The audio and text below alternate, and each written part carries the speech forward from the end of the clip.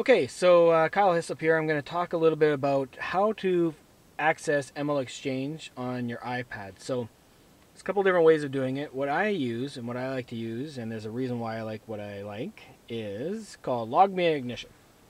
So there's a little icon right there, LogMeIn Ignition.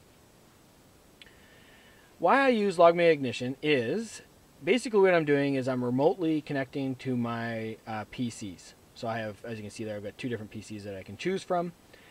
This is the same as if you have issues on your computer and a technician guy wants to access your computer from his office and all of a sudden you see your mouse moving around on your computer and it's like kind of creepy and weird. This is the same idea. Basically, if you went back to my office right now, uh, when I log in here, you would actually see my mouse on my, my monitor moving around and stuff like that. The reason I like LogMe Ignition the best is it's really quick. Right now, as you can tell, I am hanging out in the middle of nowhere. I just picked a side of the street that was quiet. So I'm literally in the middle of nowhere. I'm uh, connected to my, um, tethered to my iPhone, so I have an internet connection. And uh, and LogMeIn is fairly quick and uh, works really fast. The other other reason I like it is because I'm accessing my office computer. So if I needed to print off documents or put information to a Dropbox account or whatever, I can simply do that. I can access it and uh, and move things around um, on my home computer.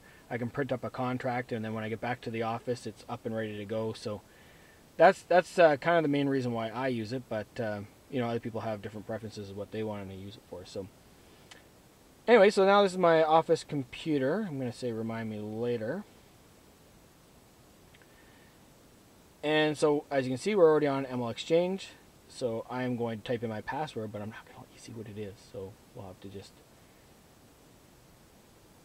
press pause for a second here. Okay, so now we're inside MLXchange, and uh, we're not going to spend a whole lot of time in here. We all know how to use it. But basically, if I wanted to look up a property on, we'll, we'll say,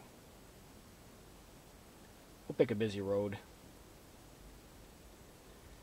So I'm going to look up a property on Vedder. We all click to the side like we normally do. And right down at the bottom it's doing that little thing. And so we see 16 properties. Click on details.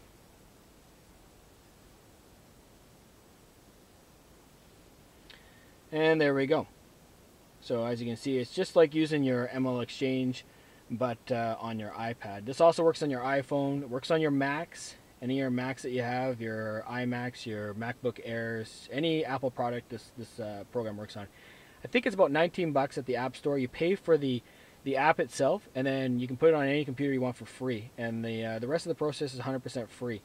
And like I said, my my favorite feature is that you know if I wanted to print off a contract or if I wanted to put some inf- information into a Dropbox or whatever it is and share it, uh, I have access to the main computer. So I basically keep one computer in my home office with all my information on there, and I'm like I said, I'm accessible to it at all times. So, so that's how you can use MLXchange with your iPad. Hope this helps. If you have any questions, my name is Kyle Hislop. Cell number 604-795-1616 or drop me an email at kylehislop at gmail.com.